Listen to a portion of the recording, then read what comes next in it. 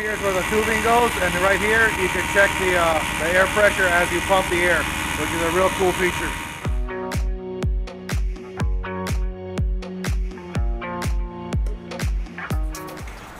Day five, we are in Moab. This is uh, something I wanted to show you guys where we're staying. Look at this beautiful, beautiful uh, rental that we found on Airbnb. And we're heading to Silverton, Colorado. We're almost 100% recovered from White Rim. I don't know how we got out of it. But uh, we're gonna set up the bikes, put the put the luggage back on, put the windscreens back on and, and pack. And today's gonna be just a road day. And hopefully we find a, a really cool place in, in Ouray or Silverton. I don't think it's gonna be as beautiful as this. Look at this guys. Two car garage, kept all the bikes in here. Hey, how you doing buddy? You have a KTM? Nope.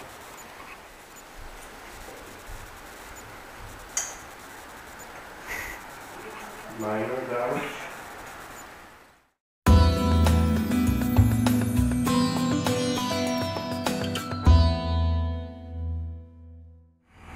Okay, all the gears on the bike. Windshield is on. It's time to air up. Last thing to do. There's 10 bikes and only one Dynaplug mini compressor. Let's see if they could do the job. Okay, I like to connect it directly to the battery.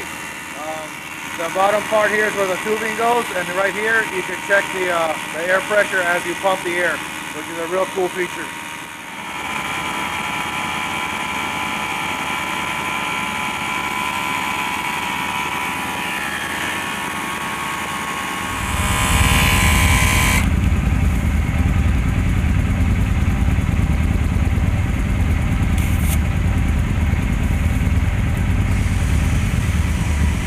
I just had it on for like a minute, not even a minute, 45 seconds, and it got me up to 60. Wow, too much.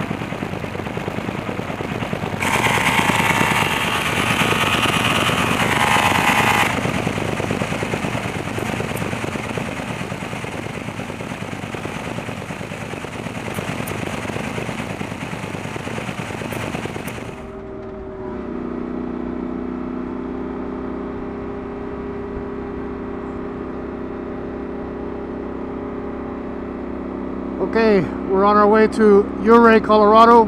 We just left uh, Moab, had some breakfast at the Love Muffin, which was delicious. And we're taking, uh, let me see what route this is. State Road 46 from Moab, Utah, south of Moab to uh.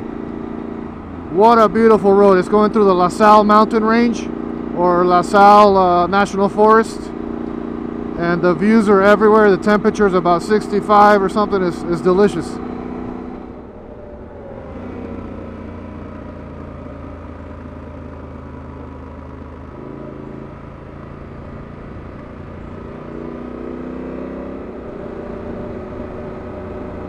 A motorcyclist dream sign. Look at that. Sideways S like a snake.